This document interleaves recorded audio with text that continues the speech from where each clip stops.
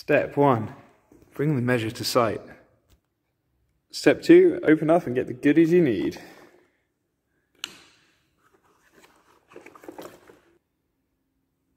Pop the tripod in the middle of the room. Step three, pull it up and make it ready to go. Step four, get your bubbles nice and level so it's ready to measure. Step five, turn it on and get ready to measure. Then head over to floor spanning. Laser measure? No, we don't want that. Scale ruler? Not that. Point scanner. Boom.